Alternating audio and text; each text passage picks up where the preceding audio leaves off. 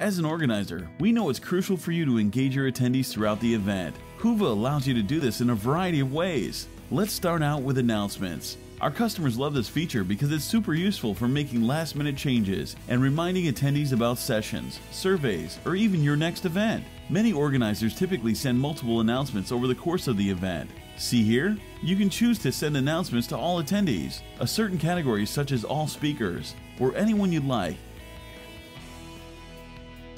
Example, if lunch is ready, write a message and hit send.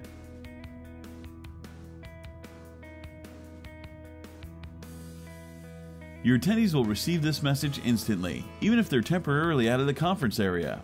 How about people who haven't gotten a chance to download the app? Don't worry, we also automatically forward your announcements to them via email, so rest assured your announcement will always reach the target audience. Moving on, these days there is a saying if your event is not visible on Twitter, you're missing the opportunity to engage and grow. We had this saying in mind when we built the Whova app. See the Twitter icon? It allows your attendees to tweet straight from the Whova app. Even if they don't have a Twitter account, they can still tweet and it will appear with the present hashtag that you provide already embedded into the messages. Sharing is caring. In the slide photo section, your attendees are also able to upload and share pictures that they take from the event directly to the app for all other attendees to see. Going further than that, you can also upload presentation information so your attendees can go back and review the information for each session. At the end of the event, you can use your EMS web platform to download all shared photos in batch so that you can select a few to include in your event report or event gallery.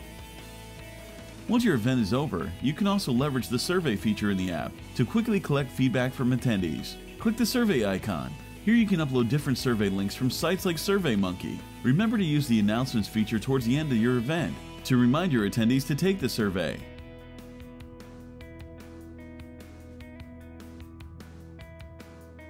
During an event, attendees and organizers always want to know what other participants are doing. That's where the activities comes into place. Click on it. You'll see what your attendees are doing, such as exchanging business cards, liking or commenting on sessions, and much more. After the event, we can also send you a full detailed report, which will have a list of all the activities that occurred. That way you'll have hands-on statistics to measure how engaged your attendees were.